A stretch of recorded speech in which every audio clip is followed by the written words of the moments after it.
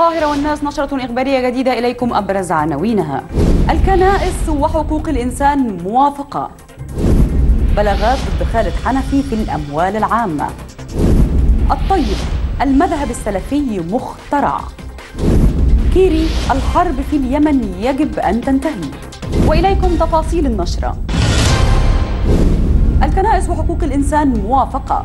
حيث وافق مجلس الوزراء على مشروع قانون بشأن تنظيم بناء وترميم الكنائس وذلك في ضوء أحكام الدستور وبعد التوافق الكامل عليه مع ممثلي مختلف الكنائس المصرية كما أعلن مجلس الوزراء الموافقة على مشروع قانون بتعديل بعض أحكام القانون بإنشاء المجلس القومي لحقوق الإنسان في ضوء أحكام الدستور والمواثيق الدولية التي تصدق عليها مصر.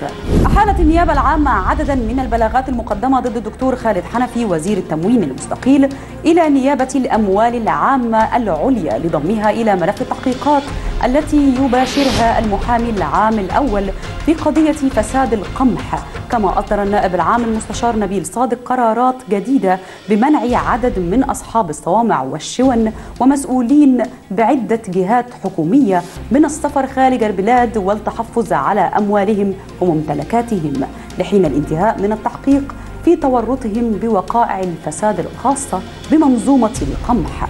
المذهب السلفي مخترع. هذا ما أكده الإمام الأكبر الدكتور أحمد الطيب شيخ الأزهر خلال كلمته بالجامعة الإسلامية الروسية في الشيشان قائلا إن الإسلام حرم إراقة الدماء وفرض عقوبات شديدة في الدنيا تصل إلى حد القصاص ثم عقوبات في الآخرة على كل من يتجرأ على إراقة دم إنسان. طرح وزير الخارجية الأمريكي جون كيري مقاربة جديدة لحل النزاع في اليمن. قائلا الحرب يجب أن تنتهي في أسرع ما يمكن. مشيرا في مؤتمر صحفي مع نظيره السعودي عادل الجبير إلى أن إرسال إيران صواريخ للمتمردين الحوثيين وحلفائهم لا يمكن أن يستمر. جاء ذلك في أعقاب لقاء خماسي جمع كيري والجبير ووزير الخارجية الإماراتي الشيخ عبد الله بن زايد آل نهيان ومساعد وزير الخارجية البريطاني ومبعوث الأمين العام للأمم المتحدة إلى اليمن. قررت نيابة الزقازيق الكلية تجديد حبس 17 عنصرا من جماعة الإخوان الإرهابية 15 يوما على ذمة التحقيقات.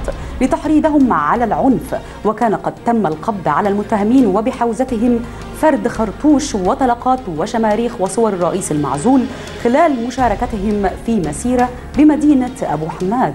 تراجعت أسعار الذهب في الأسواق بقيمة ثلاثة جنيهات لكل جرام بعد انخفاض السعر العالمي بقيمة 13 دولارا للأوقية.